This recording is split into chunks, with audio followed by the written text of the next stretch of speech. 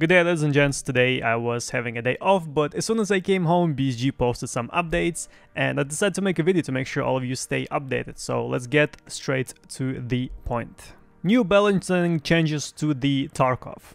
Change the ammo crafting recipes for SS-190, BT, SPP, PS-12B, APSX. Thanks to Logical Solutions, we know what the changes are, so changes to the ammo are as follows. If you want to craft SPP bullets, you need to put in only 50 BT bullets, uh, however, you need to put two more kite gunpowders in. Crafting SCP bullets, you need more laser mesh bullets, however, production time was decreased. PS12B bullets, uh, you need 120 PS12A, and the craft count goes to 80. This is good, because if you like crafting, crafting PS12B bullets and you get only 60, that was very low amount, so that's a good change. APSX, you need more subsonics, you need less uh, gunpowder, uh, production time is uh, literally halved and you get more bullets. SS-190 you need more SS-197 SR bullets and the craft count goes to 180 as well. And if you craft BT bullets you need one gunpowder kite and production time went down by 6 hours which is a good thing. Also there is a change to the Terra Group Labs Violet keycard which you can craft in your hideout However, I don't really know if it's worth it, because if we go and check the craft, there it is. You need one, um, one RFID, right? That's like 50k, whatever. You need 10 keycards, that's 1.6 million, let's say. You need one yellow for intel folders and one magnetic tape. And after 126 hours, which is like what, a week? Around around a week, I guess, um, six days you get Violet keycard. But if we check Yellow on the fleet, Yellow is 8.7 million and Violet is 8.9, you know, stonks, not stonks.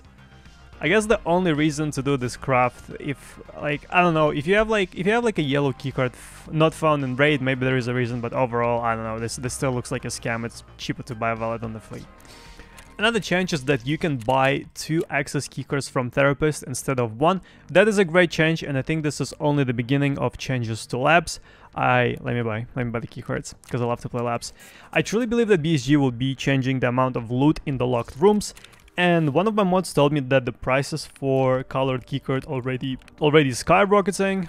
70 million for green, uh, only one available on the flea. Uh, Violet went up in price as well. Is 60 mil. Yeah, prices are going up for the keycards.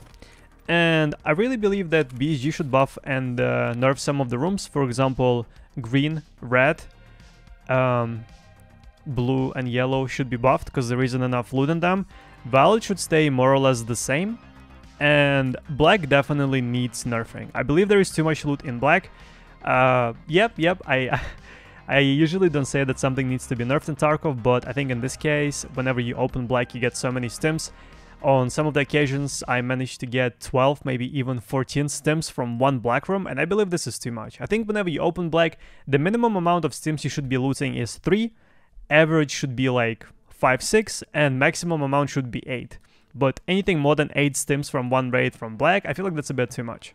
And you can also get LEDXes from Black. So like if you go to Black and you get LEDX and like 11 additional stims, I feel like that's a bit too much. So in my opinion, Black needs a little nerf. However, all the other rooms, especially Blue, especially Blue, they need a serious buff. If you enjoyed this video, give it a thumbs up and write a comment down below for the YouTube algorithm and we are done with the news. I'll have to keep those videos short. Thank you so much for watching. I'll have to keep those videos short. Thank you so much for watching and I'll see you in the next one.